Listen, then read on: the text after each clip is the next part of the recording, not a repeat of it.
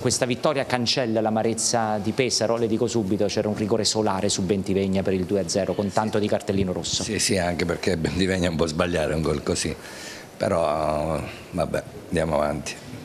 Il... E punti fondamentali?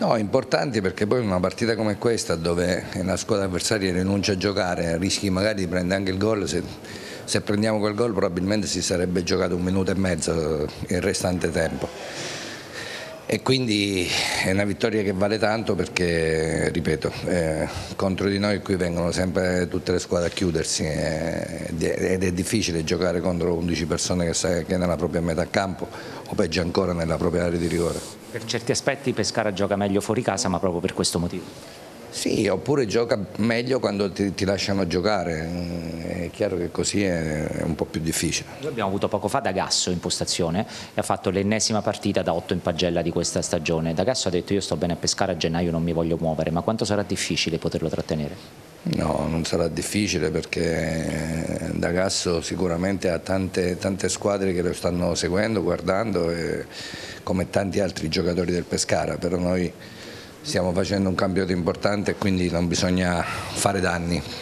Sta, è iniziato il mese di novembre, quindi diciamo è l'ultimo mese che porta a dicembre al mercato. Io la prima domanda così in grandi linee la provo a fare. Sono concrete le possibilità che questo gruppo resti inalterato, nel senso né entrate né uscite, oppure Lonardi va sostituito numericamente? Ma questo poi lo vedremo, adesso è presto, mancano ancora due mesi, quindi un mese e mezzo abbondante, non, non c'è questa fretta ma questa squadra sta facendo talmente bene che secondo me possiamo fare solo dei danni, quindi va bene così. Perugia-Ternana lo guarderà il derby domani comodo sul divano, non interessa?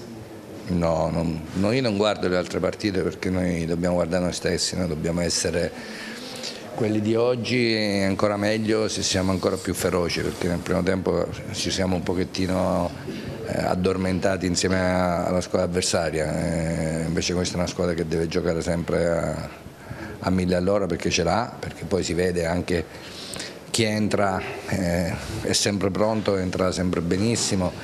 Eh, oggi Giorgi è entrato bene, Andrea Ferraris è entrato bene, eh, eh, Tonin è entrato bene, sono entrati tutti quanti bene, perché? Perché sono, si allenano tutta la settimana in maniera importante e quindi quando vengono chiamati sono pronti. Prima di una domanda per se poi saluteremo il Presidente dello studio con Massimo Profeta e Fabio Ferraresi, io le voglio far rianalizzare senza polemica ma con una settimana in più di mente fredda tra virgolette quello che è successo a Pesaro perché a caldo il direttore Foggia è stato squalificato a lungo, l'intervista è diventata virale, lei in settimana è stato abbastanza simpatico dicendo che il Pescara ha giocato giocato non uno con l'uomo in meno ma con due uomini in meno, riletta un po' a mente fredda dopo una settimana quella giornata di Pesaro? Abbiamo giocato con due uomini in meno. Studio per il presidente Daniele Sebastiani.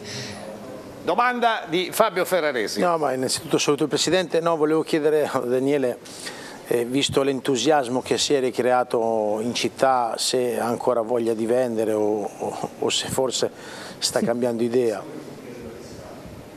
No, no, non c'entra nulla quello, c'entra nulla, l'entusiasmo fa piacere, fa piacere per i ragazzi perché ne hanno bisogno.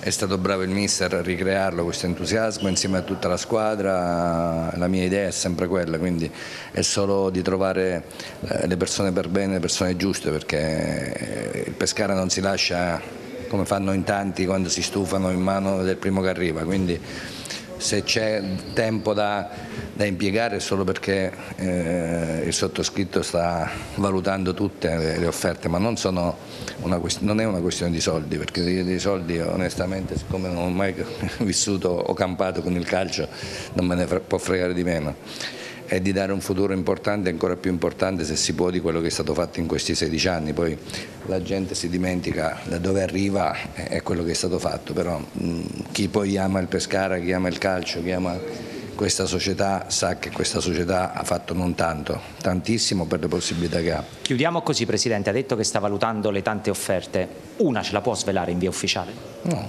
quando saranno pronte e definitive conoscerete tutto.